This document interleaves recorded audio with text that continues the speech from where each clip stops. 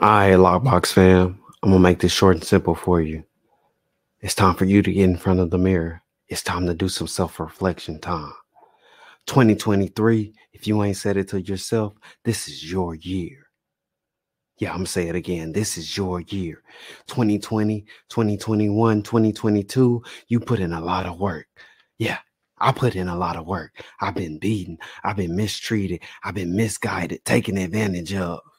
But the whole time, I never got lost in the process. I always stayed focused on the process over the progress.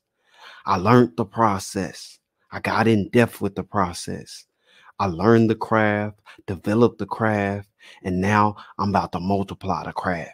If you are not saying to yourself right now, 2023, you're multiplying your craft, you got another story coming.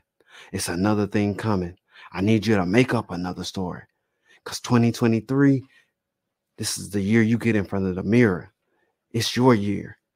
All that hard work, all that pain, all that mistreatment you had to go through to get to where you are now to be in a position to do what you're able to do.